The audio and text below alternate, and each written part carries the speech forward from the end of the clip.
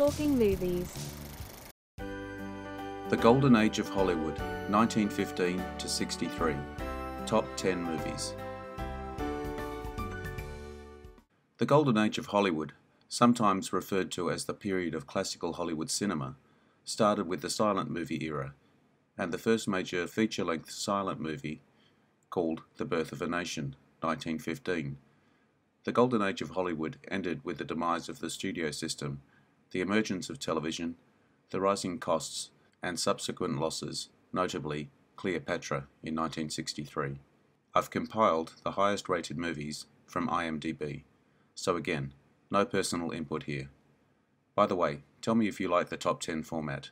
For me, I'm not so interested, although it does make for interesting comments. If you like this video, take a look at my channel for many more. The link is in the description. Apologies for any mispronunciation of names. Starting with a fun one. Some Like It Hot, 1959. After two male musicians witness a mob hit, they flee the state in an all-female band, disguised as women, but further complications set in. Director, Billy Wilder. Cast, Marilyn Monroe, Tony Curtis, Jack Lemmon, George Raft. Some will say this should be number one. Gone with the Wind, 1939. American motion picture classic in which a manipulative woman and a roguish man conduct a turbulent romance during the Civil War and Reconstruction periods. Directors Victor Fleming, George Cukor, Sam Woods. Cast Clark Gable, Vivien Leigh, Thomas Mitchell, Barbara O'Neill. That's something you'll never hear from me, Captain Butler, as long as you Double Indemnity, 1944.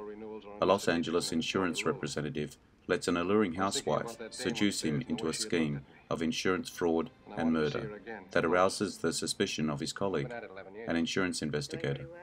Director Billy Wilder. Cast Fred MacMurray, Barbara Stanwyck, Edward G. Robinson, Byron Barr. Group insurance, industrial stuff, and so on right down the line. North by Northwest, 1959. A New York City advertising executive goes on the run after being mistaken for a government agent by a group of foreign spies and falls for a woman whose loyalties he begins to doubt. Director Alfred Hitchcock. Cast Cary Grant, Eva Marie Saint, James Mason, Jesse Royce Landis.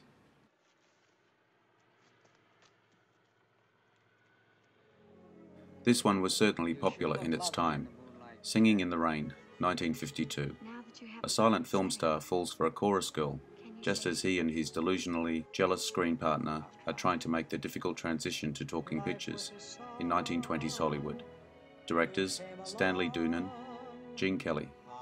Cast Gene Kelly, Donald O'Connor, Debbie Reynolds, Jean Hagen. Vertigo, 1958. A former San Francisco police detective juggles wrestling with his personal demons and becoming obsessed with a hauntingly beautiful woman he has been hired to trail, who may be deeply disturbed. Director Alfred Hitchcock. Cast James Stewart, Kim Novak, Barbara Bel Geddes, Tom Helmore.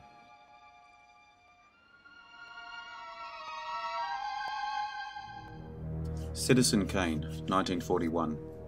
Following the death of publishing tycoon Charles Foster Kane, reporters scrambled to uncover the meaning of his final utterance, Rosebud. Director, Orson Welles. Cast, Orson Welles, Joseph Cotten, Dorothy Comingore, Agnes Moorehead.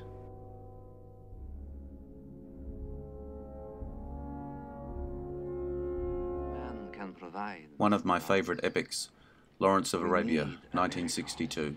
The story of T.E. Lawrence, the English officer who successfully united and led the diverse, often warring, Arab tribes during World War I in order to fight the Turks. Director David Lean. Cast Peter O'Toole, Alec Guinness, Anthony Quinn, Jack Hawkins, Omar Sharif.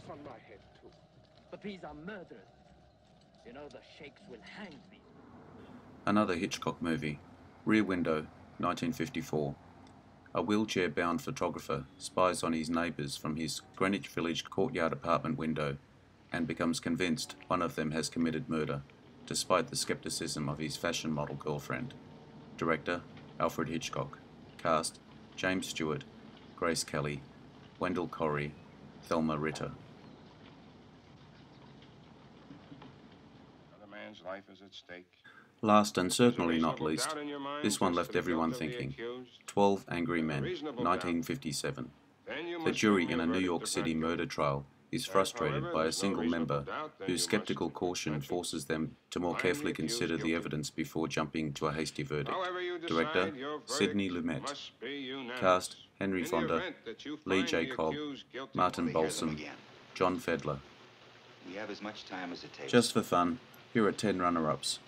Of course, we could go on indefinitely. However, I think these give us a good idea. And we all have our favourites, despite what the ratings say. I'm not saying the list is correct, as it is up to all of us to make our own choices. For me, my favourites change from time to time as well. the. The Bridge on the River Kwai, 1957. The Treasure of Sierra Madre, 1948. Ben Hur, 1959.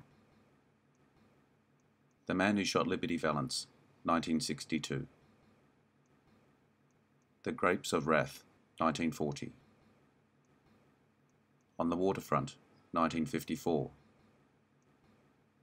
The Third Man, 1949. Rebecca, 1940. It Happened One Night, 1934. The Best Years of Our Lives, 1946. Thank you for your time today. I hope you enjoyed the video. I appreciate likes, shares, and subscribers. Don't forget to hit the notification button to get my new videos. Drop me your comments. Bye for now. See you again soon.